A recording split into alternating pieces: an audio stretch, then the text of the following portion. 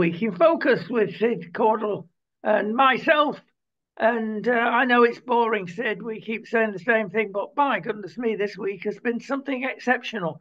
We're not going to yes. squeeze this into our usual um, three quarters of an hour, but uh, we'll do our best. I'll okay. tell you what, we, we'll start off by our friend that's got a very much watched television program. He's um, gone all Nigel Farage, hasn't he, with GB News?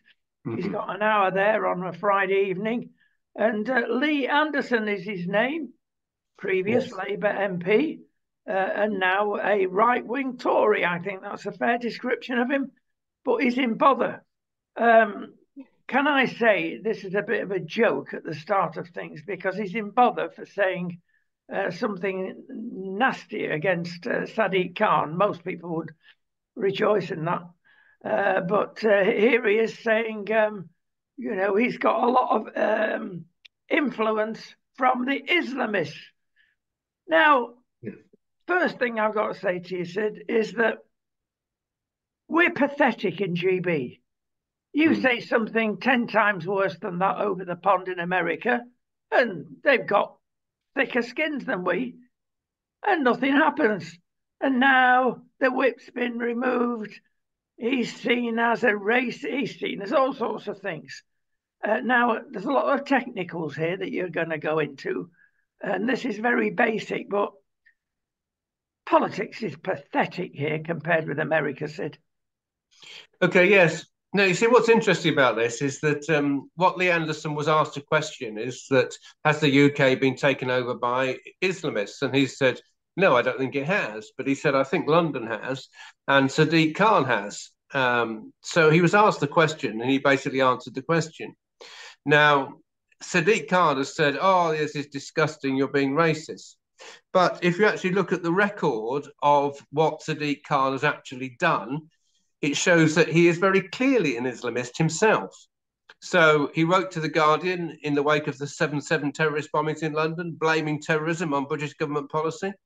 He defended some terrible people when he was a barrister before he became London mayor. He defended Zacarias Moussaoui. He was a 9 11 terrorist who confessed to being a member of Al Qaeda in court. I mean, I'm not saying when he defended him, it's, it's quite interesting. Why was he chosen to defend these people in court? Why was he chosen as a barrister to defend them? Well, obviously, he's sympathetic to them. That's why. He's got a chapter in his book called Actions Against the Police, advising you on how to bring charges against the police for racism.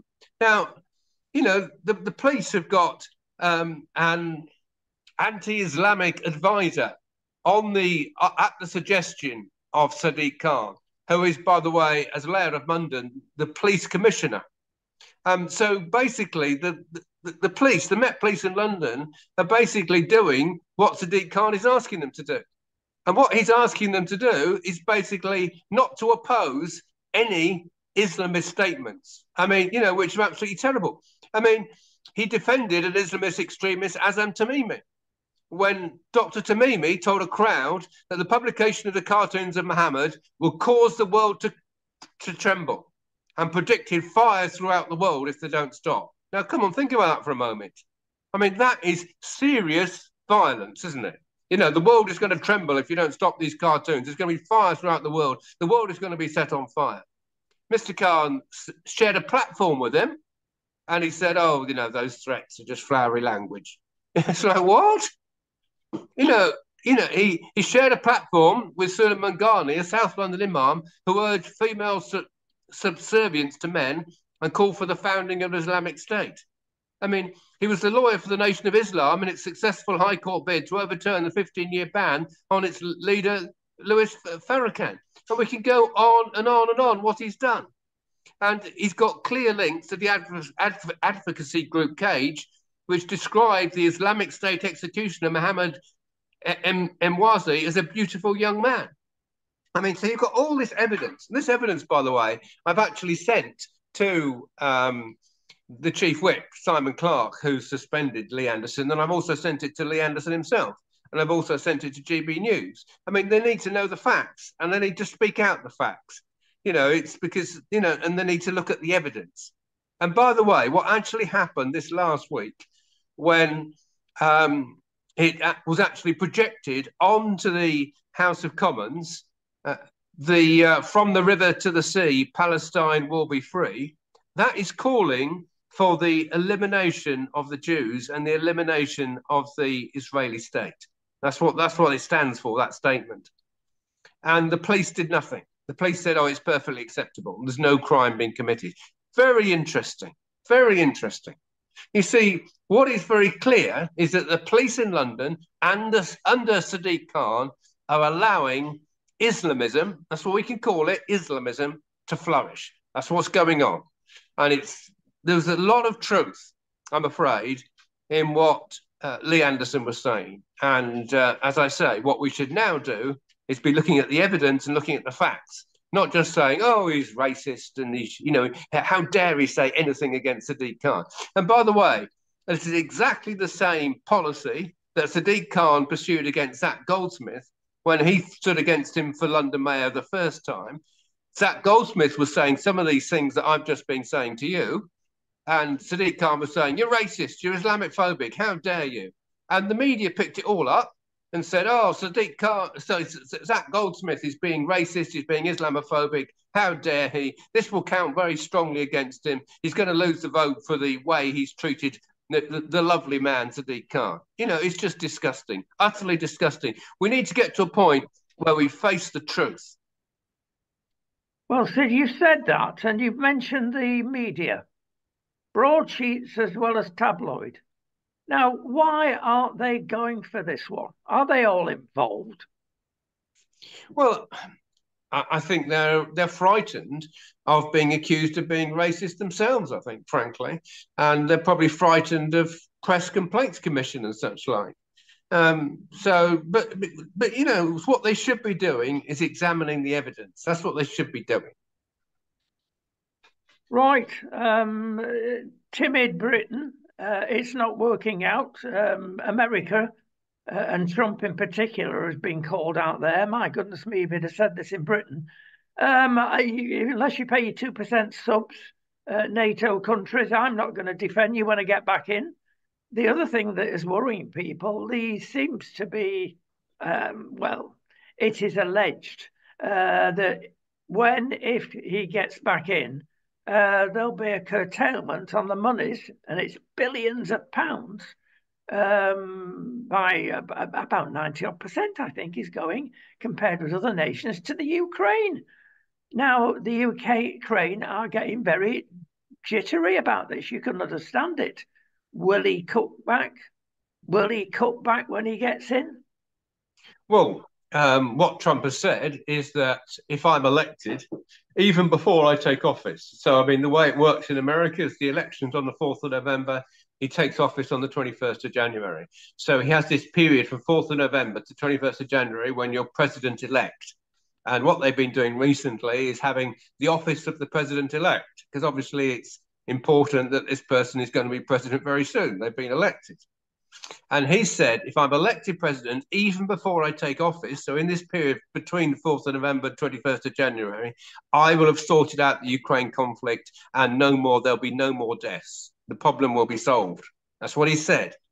Now, how he's going to do it, we'll have to wait and see because I don't know exactly. But what I do know is that he's likely to be making some very severe threats to Russia if, they don't pull out their troops, what's going to happen to them? And he'll probably making some severe threats to Ukraine as well.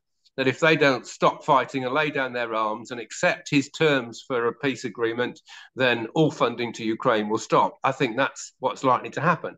And by the way, if people don't realize the seriousness of this, I mean, so far the United States has given to Ukraine 75 billion in military aid. They reckon the war has cost Russia 219 billion. And the contribution by the United States is way above the contributions that any other country's given. I believe you, UK is actually some second, and we've given something like five billion. But you know, it's these these are in, it's enormous sums of money. And what Biden has now said is that he wants to give them another 60 billion. And this is what at the moment is stuck in Congress because he's not only giving Ukraine 60 billion, the whole deal that he wants to push through is 95 billion and 5 billion of it is going to go straight to Hamas. I mean, you know, so obviously the um, the uh, Republican members of Congress are saying no, we're not agreeing to this 95 billion. Indeed. Um, can I say that there's been a big conference in America?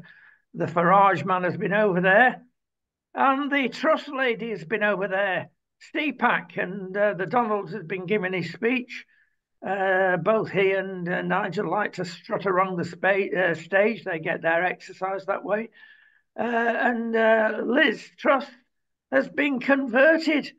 Um, and uh, she's been listening to the Donald about deep state. And she's clearly stated now that's what happened to get rid of her. Did you buy that one? Was it Deep State Britain? Well, it's very interesting what she said because what she actually said was that Britain is now being run by quangos.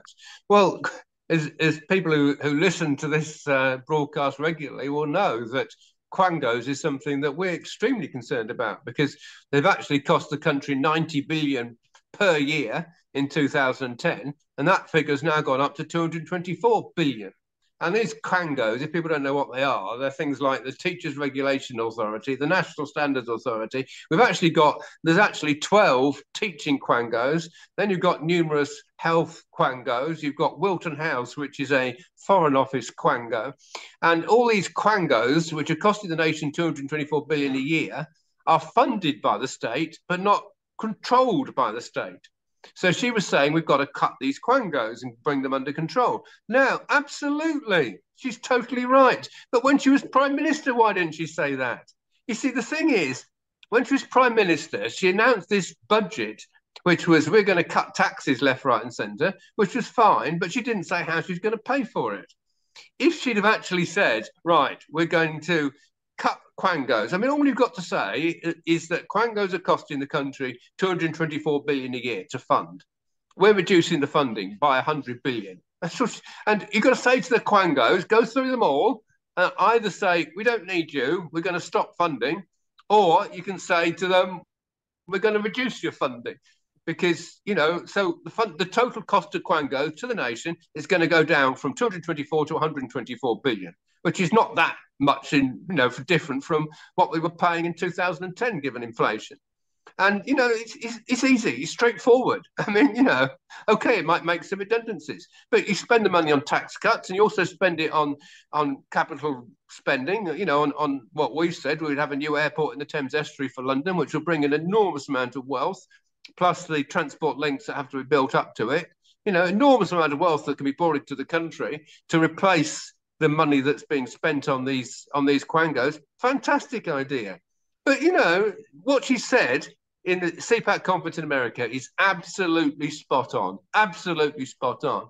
But when she was prime minister, why didn't she do it? I mean, that's you know, it's, it's ridiculous. Well, we've mentioned Nigel Farage, or I did, and uh, we've mentioned uh, Lee Anderson. And uh, Nigel is trying to get him back into reform. Uh, I say back into reform. He um, used to be Labour MP, of course, uh, and as we've said, it's gone to the right of the Tories. But he's ideal, one would have thought, uh, and his local support could even get over the problem uh, first past the post, and uh, at least um, reform might get one seat. It's all very clever. Perhaps uh, Liz Truss can be approached by Nigel now. Um, no, I don't think Liz Truss is going to go in that direction because I think there's a, a, number of Conservative MPs that at least support her philosophy if they don't support her herself. And I don't think all those, there's any reason for all those MPs to jump ship. I think they're more interested in trying to argue their case from within the Conservative Party, which I certainly think Liz Truss is. And by the way, there is a very strong division now within the Conservative Party because on the other side, you've got Penny Mordaunt, who is clearly totally woke. Uh, and she has the support of probably 100 Conservative MPs. There's over 300 in the House of Commons. You know, there's, there's I think, um, you know, that, oh God, what's his name? Sorry. One, two, three, four, five. I think, frankly, Jacob Rees Mogg is a better flag bearer for the right of the Conservative Party than Liz Truss. But the right of the Conservative Party is there. They're very strong and they will be campaigning within the Conservative Party. Um, but as far as reform are concerned, you see, I, have got some concerns about reforms policies because reform is saying they're going to cut tax drastically. They're talking about raising the tax threshold to 20,000 and they're not going to say how they're going to pay for it. Well, what they have said is they're going to cut every department by 5%. So they're going to take 5% off the National Health Service. They're going to take 5% off defence. I mean, that's frankly, that's irresponsible as well. That's utterly irresponsible. I don't think reform We've got sensible policies for the nation, frankly. I mean, our policies in the Christian People's Alliance are way better. I mean, our manifesto, if it was actually got proper national publicity, people would realise that our policies totally make sense and could be put into practice tomorrow. I don't think reforms could be, frankly. Well, you're surprising me, Sid, because I've got a list of stuff here and I was going to mention it uh, later in our chat, but you've raised it now, so we'll go into it. I thought this was, you could have written their manifesto, which is not officially out, but we all know what it's going to say. Uh, you've got to um, reach the wage of 70,000 before you get 40% tax, as, as mentioned. Um, the stealth tax threshold, whereby uh, where do you start paying tax is going to be increased to 20,000. I think everybody in the nation wants that. Um, and of course, there would be strangely um, marked reductions in stamp duty. I approve of that absolutely. And actually, I approve of the inheritance tax that Reform are saying they're going to get rid of. And so, strangely enough, this morning does the aforementioned Liz Truss. She has got a advisor that's actually said there'll be 300,000 jobs created if you get rid of inheritance tax. Uh, that's all to deal with, you know, people staying here that would, you know, not jump ship. Uh, inheritance tax is very complicated. It's a jealousy tax, of course, that Labour want to get rid of, uh, but it's not as simple as that. And it's going to cost the government buttons.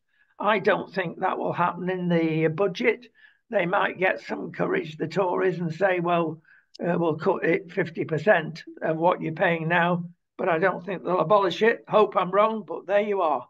So uh, the other thing that they say, they're going to encourage, and I think you would approve of this, um, education uh, and health reform.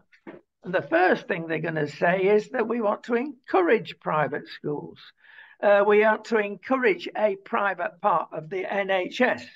So we'll give 20% tax relief if you pay insurance, uh, private insurance for your health insurance. That's an excellent idea. Leave more beds for everybody else and leave more school places for everybody else. Do you go along with that latter thing? Well, those things aren't in our manifesto, but they're certainly something which can be considered. I think our primary aim is to make the National Health Service work. And our policy on that is to bring back GP fund holding, which worked very, very well in the 1990s. And we believe that that would solve a lot of the problems of the NHS. Um, we're not totally opposed to what's being suggested, but it's not in our manifesto. And the key issue, as I say, is how is it going to be paid for? I mean, see, it's okay saying, oh, we, we're going to introduce all this tax relief, we're going to cut all this tax. But uh, if you're paying for it by um, cutting 5% spending from every government department, then I'm, I'm afraid no. We do not agree with that, and that is a very, very bad policy, frankly. See, our policy, which is correct, is to cut quangos, which we talked about earlier, save 100 billion, and also See, one of the other things which was introduced, believe it or not, by the Liberal Democrats when they were part of the coalition was that all government contracts have got to have a social requirement. In other words, you know, every you've, you've got to look at your racist policies and you've got to look at your, your LGBT policies as part of a government contract. We get rid of all of that and we make the only requirement for government contracts value for money. And we believe on that basis, all government contracts are costing 379 billion. That's how much they're being spent. We reckon we could save 10%. And by the way, the Adam Smith Institute has also done a research on this to reckon that we could save roughly 10% if we just make the only test uh, value for money. And we would use that money to cut tax. And by the way, you know, it actually only cost five billion to take one p off income tax. So, you know, if you use that money to cut tax, you could take five p off off income tax, and it could go a long way. But the, the policies that the Reform Party are putting forward, I'm sorry, to cut five percent off every government department to do these things are wrong. Sorry, they are wrong. What about the um, net zero thing? That will be cheered to the rafters uh, would uh, CPA cheer it? I, it's not a rowing back on net zero. It's practically an abolition that they're going to put forward. It's a nonsense net zero. Yeah, no, absolutely. I mean, you see, one of the things that we believe, you know, when it talks about the climate, is that God created heaven and earth, and um, it actually says one of the sounds of heaven is worthy art thou our lord god for you've created all things. By your will they were created and have their being. So it actually says the angels in heaven say the world exists according to god's will. Now if that's correct then all this stuff about you know man-made climate change is just false i'm afraid. And of course you've also got what it says in 2 chronicles 7.14 you know, if my people are called by my name, will humble themselves and pray and seek my face and turn from the wicked way, I'll hear from heaven and forgive their sin and heal their land. Heal their land. And, you know, as I think we've talked about before, we've actually seen this incredibly in Fiji. I mean, I won't go into details now, but I mean, all the evidence is that as the people of Fiji repented, God healed the islands. The coral reefs came back to life incredible vegetation was produced. And you know the whole climate was changed. I mean it's very very interesting. So we're on the wrong lines when we're saying it's all man-made climate change and we've got to reduce carbon footprint and so on and so forth. We've got no problem with re- reducing pollution. Reducing pollution is a good thing. But to think that somehow man can therefore control the climate is just frankly wrong completely wrong We've got various quotes coming from different uh, sides of the political spectrum, Sid. And they all say the same. What has happened in Parliament this week is a complete disgrace. Well, uh, yes, I think most people would say it is. Shenanigans is going on there. And we are really akin to the US in this. They're past masters. But um, uh, we uh, realise and so does the Speaker. He has boobed big time, regrets it. Who are his advisors? Yes.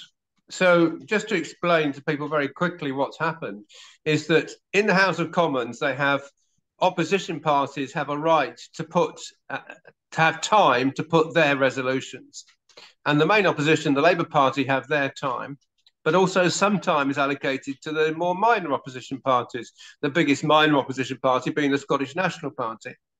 So the Scottish National Party were given time in Parliament to put forward their resolution. They decided that they wanted to put forward a resolution calling for an immediate ceasefire in Gaza by Israel, irrespective of whether any hostages were released or not and, and irrespective of the response of Hamas. So Hamas could carry on fighting, but Israel had to stop fighting. Uh, as as far as the SNP were concerned. Now, that resolution was not supported by the the the, the Labour leadership, who said no, there's got to be some you know responsibility for Hamas, and there must be some humanitarian considerations put into it, and so on and so forth. We've got to consider about the civilians and helping them and supporting them as part of the whole motion, not just tell Israel you have to stop fighting and that's the end of the story.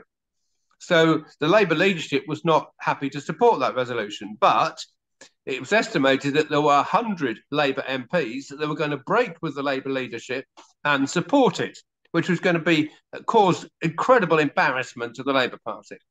Keir Starmer, the Labour leader, went to see the um, the Speaker of the House of Commons and spent half an hour with him. And we don't know what he said, but the outcome was that the Speaker came to the House of Commons and said, I'm going to allow Labour to amend the SNP resolution. Now, that's something which never happens. They have opposition time, they put forward their resolution, and it's voted on. That's what happens.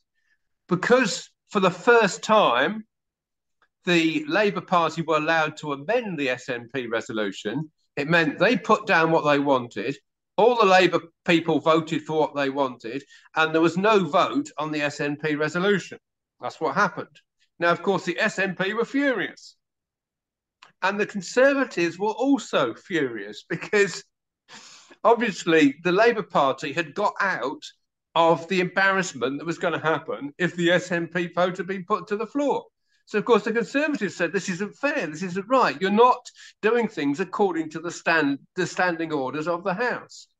Now, it's quite interesting. The Speaker, when he first announced this change, said, "Oh, all these rules are outdated. It was all goes back to a time when there were only two parties in the House of Commons. We've got lots more than two parties now, so we've got to change our standing orders and allow opposition parties to amend the motions of other opposition parties."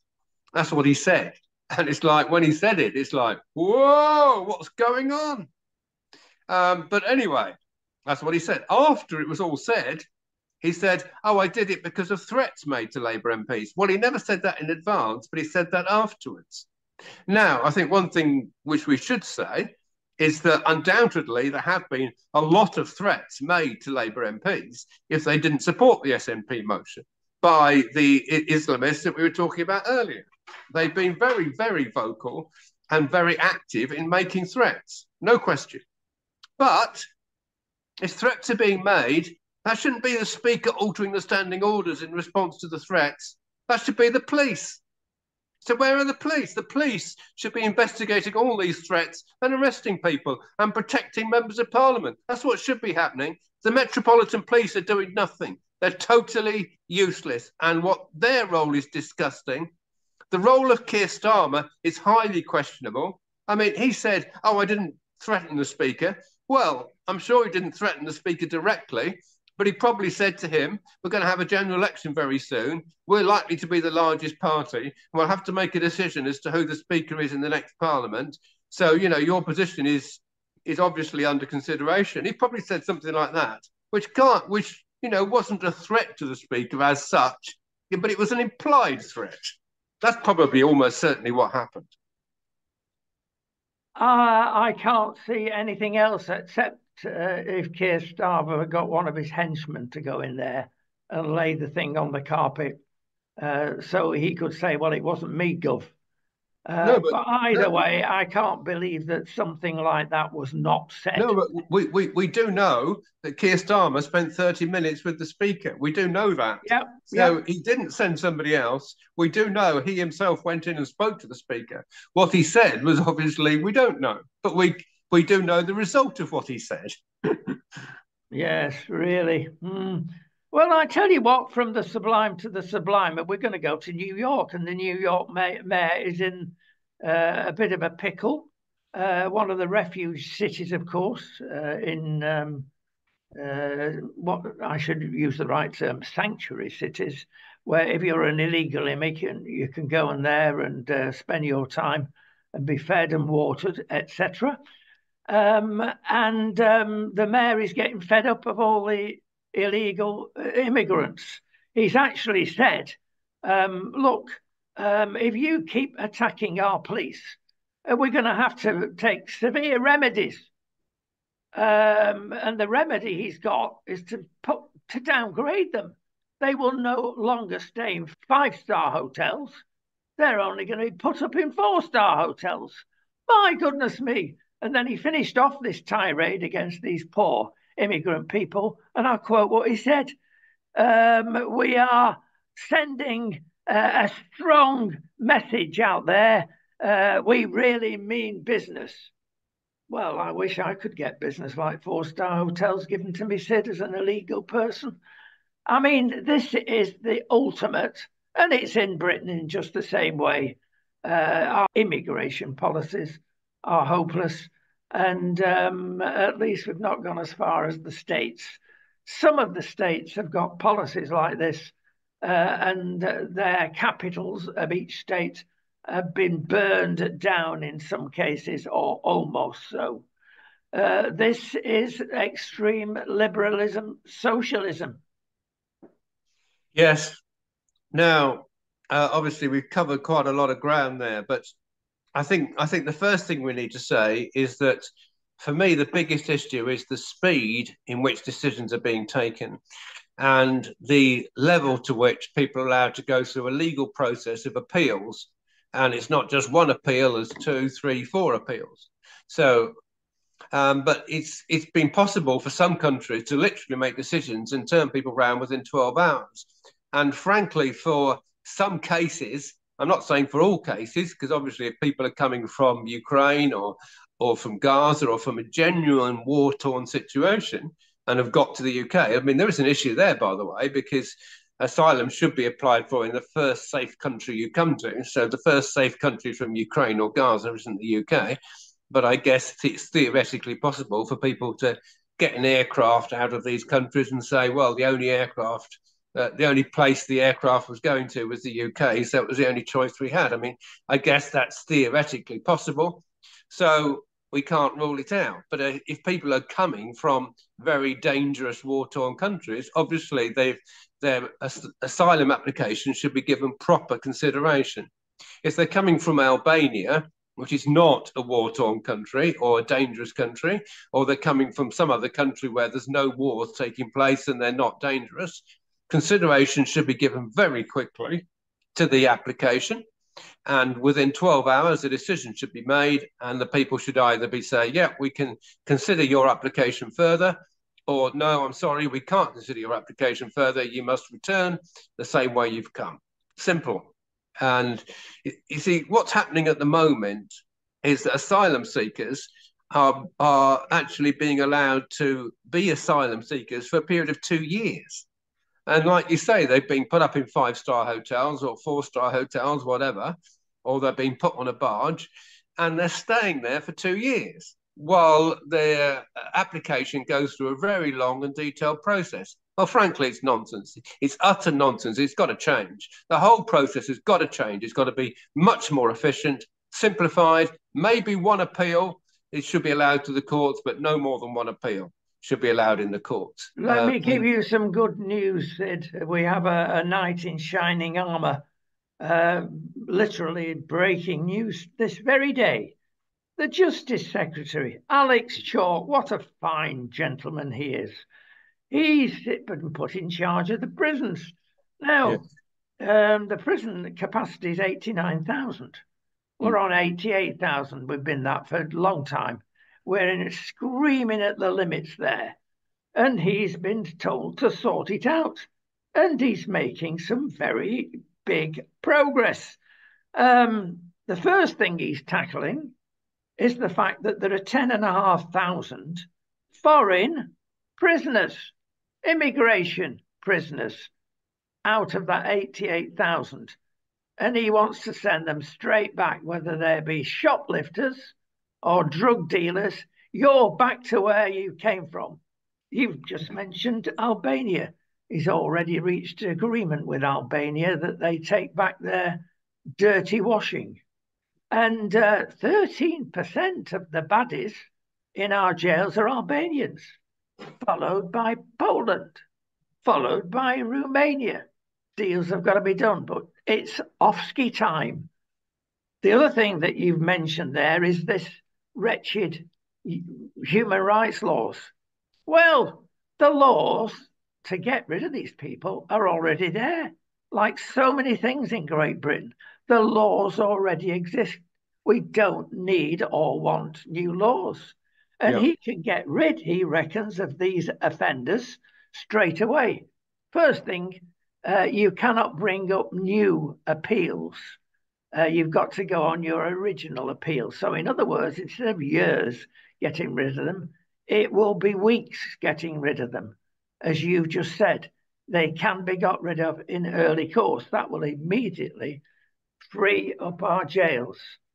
He wants to build at least four mega jails in addition that will each house 10,000 prisoners. Now, we see these in Spain. They go up very quickly and they work. Why don't they go up quickly? Yes, you guessed it in GB. The reason, of course, is planning permission. So he's out to get the planners and get a shortcut through whereby it's not going to take centuries to get anything built. Uh, it's not just uh, HS2 that has suffered this way. So planning needs to be sorted out desperately. So well done him. Let's hope he gets away with it.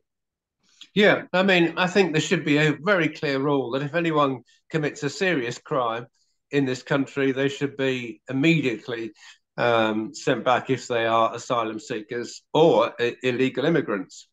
Um, there should be there should be no question. I mean, obviously, if someone's uh, you know caught speeding or something, you don't say, "Oh, well, you've been caught speeding, so we're going to send you back." I mean, but if there's any sort of serious crime that warrants prison, then um, th- th- there should be no question. I mean, it should be they should be immediately sent back. Um, you know, we've we we have absolutely we've got to be tough.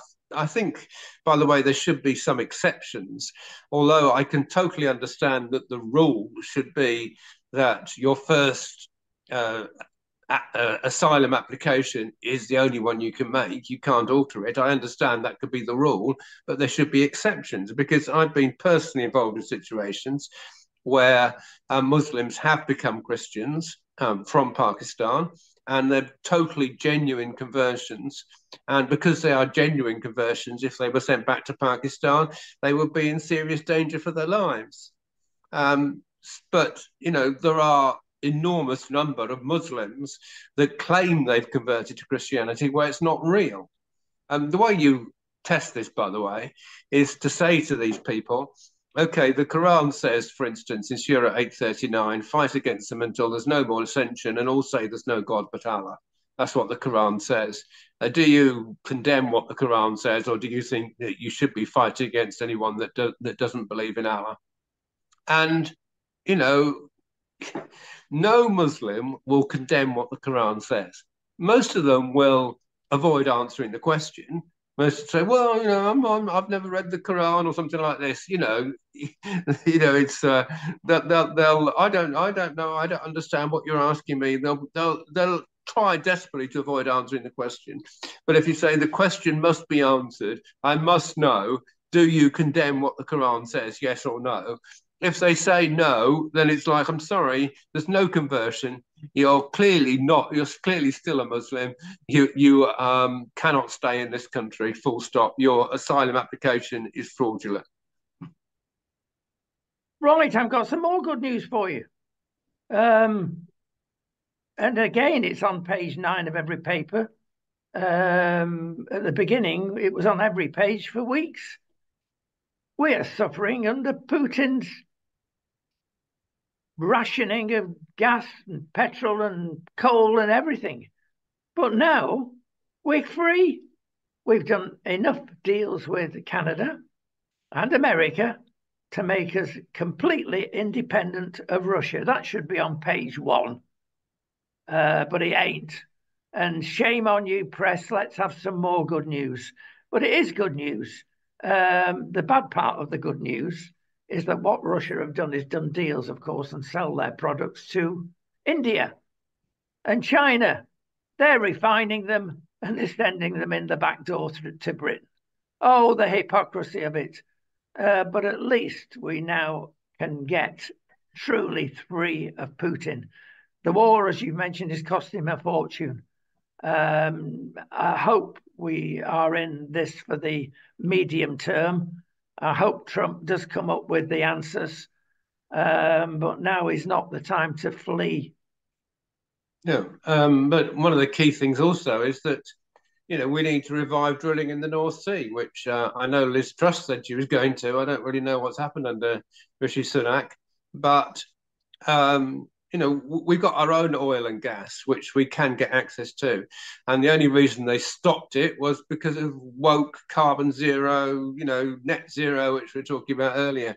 I'm sorry, we're going to need gas and oil for a long time to come.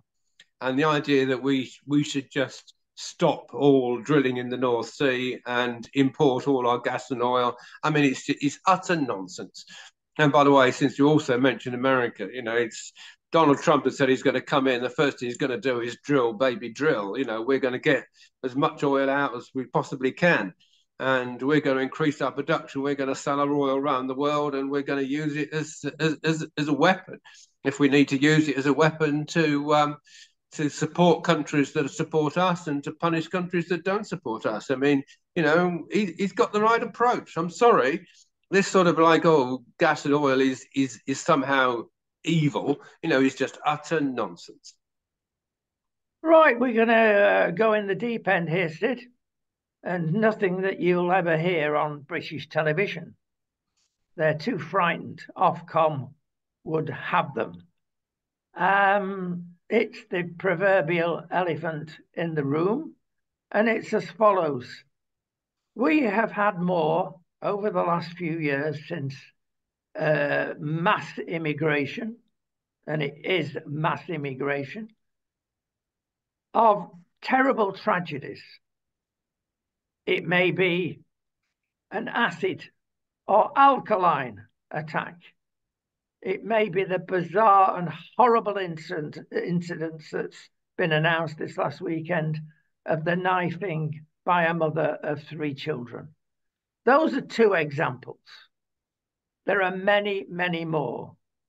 The vast amount of these terrible tragedies have been caused by immigrants. Now, that's a fact. But nobody dare say that in the United Kingdom mm. because they're frightened. These people have not got our culture. It's the culture of Af- Afghanistan to get acid and alkaline attacks going against your so called loved ones.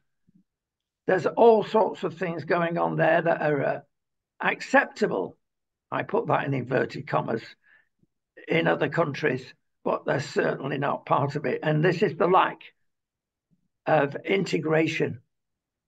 Um, these people are causing havoc in our country, and we're letting them in just to get our short term GDP figures up uh, or our universities funded by three times the amount that a British British person would have to pay by attending our university. This is shocking, Sid, and nobody dare say it. Will the Christian People's Alliance dare say it?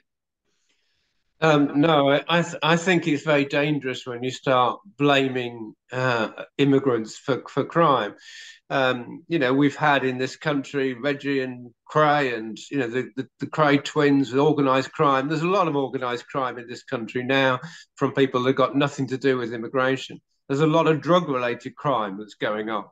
I mean, I've seen I've seen criminals active myself through um, my working life as a financial advisor.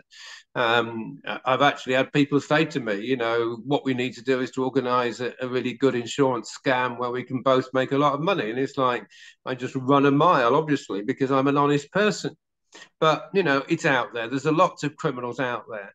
And um, it, it, it's wrong to uh, to um, label immigrants as criminals. What we the right approach is to anybody that comes in this country has to know that if you're convicted of any serious crime, you're not allowed to remain in the country. That is the right approach, and uh, and I think we should leave it there.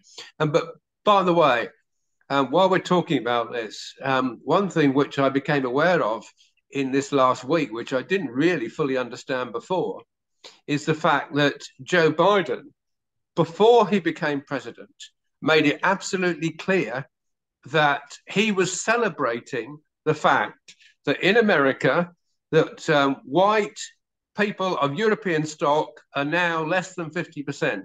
And the numbers of those who are not of white European stock will be growing and growing. And the more they grow, the better.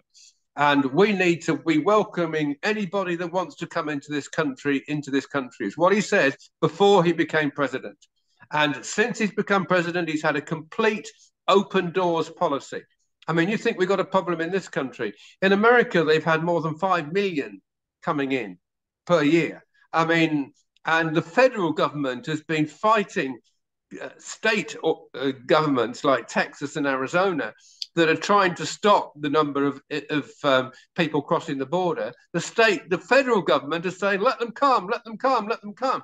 And he's also, Biden's also had a policy of anyone that's come into this country, doesn't matter how they're here, they should have the right to vote and they should have full right to work and so on and so forth. Doesn't matter how they've got here, just process them, give them the right to vote. Why? Because he expects they're all going to vote for him. I mean, so it's utterly corrupt what he's doing. Right, uh, a skillful answer there, a political answer. Um, well done, Sid. Uh, it still remains the truth that these bizarre killings are by people not of our culture. Uh, and um, quite rightly, uh, we've got to defend um, the many, many immigrants that have contributed to this country.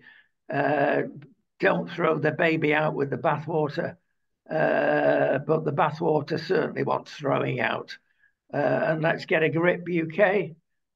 Lastly, Sid time has gone.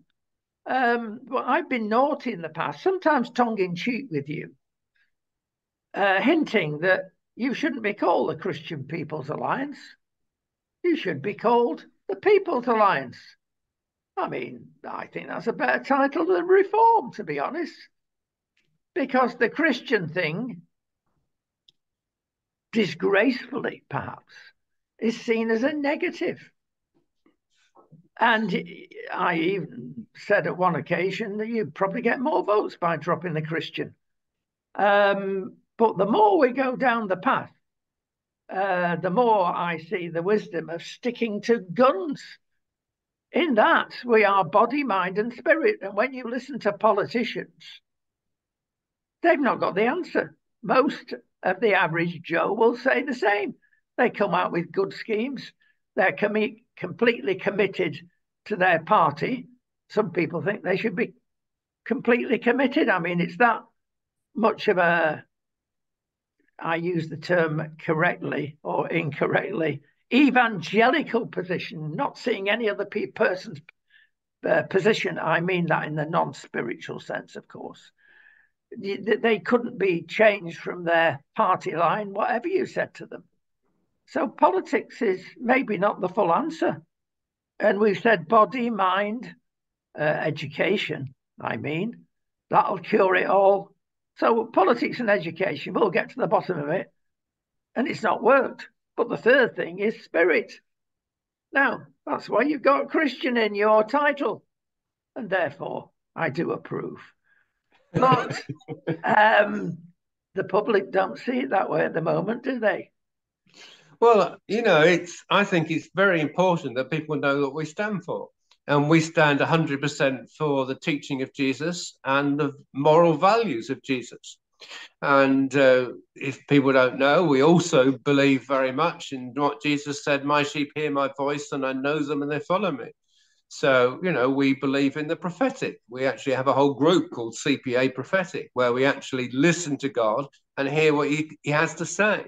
And if you can hear God's voice, you can hear you can ask him what his will is in any and every situation.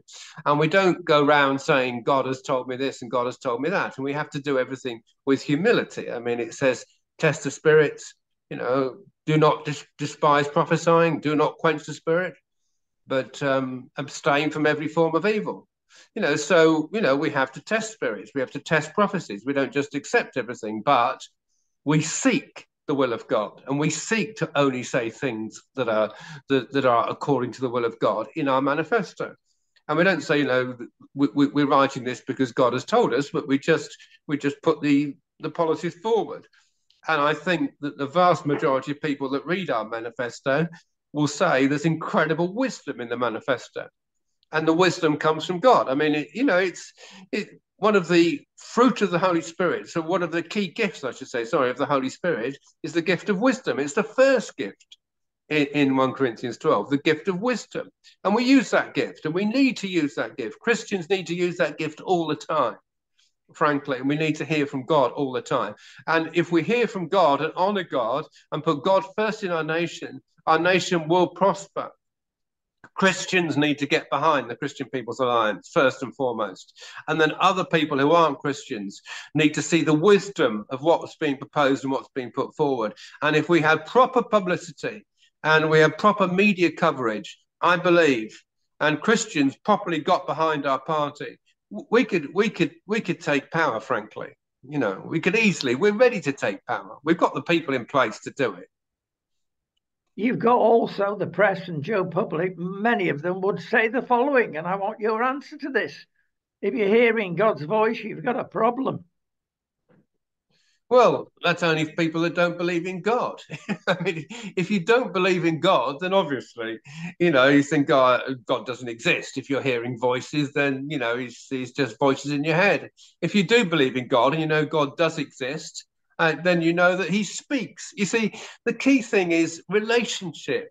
And, you know, Jesus said, uh, you know, I don't call you servants, you know, I call you friends. For everything I've received from my Father, I've made known to you. I mean, you know, it's like we are friends of God.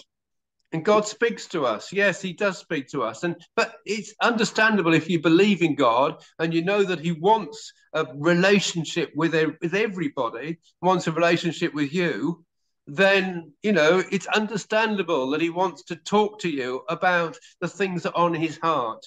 And if you don't believe that what's going on in gaza is on god's heart and you don't believe what's going on in ukraine is on god's heart and if you don't believe in in that violence all over the world is a part of god's heart then you don't know god. But we do know god. And we do know what's on his heart. To clarify sid uh, perhaps i should have phrased it that way at the beginning are you hearing audible voices of God? No, it's. Um, uh, I mean, the way most. I mean, we, we do see pictures sometimes, and sometimes you can receive pictures, but it's mostly more like a thought that comes into your mind um, that you like. You know, you hear very much that this thought's come into your head, and you think, "Wow, where's that come from?" And you recognize as you're more experienced, it's come from God. And uh, but as I say, all these things have to be tested. I mean, if you want to, if you, if you want me to give you an example, just in this last week, uh, in the middle of the night, uh, I heard God saying to me, uh, Matthew five, five, and six, and okay, that wasn't an audible voice, but I've had this thought came into my mind in Matthew 5, 5, and 6 in the middle of the night. And it's like I had to get up and see what it said. And I got up in the middle of the night and, and I read it, and it was Blessed are the meek, for they shall inherit the earth. Blessed are those who hunger and thirst after righteousness, for they shall be satisfied. And I believe God was saying direct to the Christian People's Alliance because we're humble in what we say, and we, provided we maintain a humble approach, we will inherit the earth. And provided we continue to hunger and thirst after righteousness, God says we will be satisfied and He will open doors for us. Come on, that's that's an example of God speaking to us. Right, we've uh, completely overrun. Never mind, ran out of time. and um, thank you. And uh, you can go down and lie down for a rest now, Sid. We've put you through it this morning. Thank you, Sid. We'll see you next week.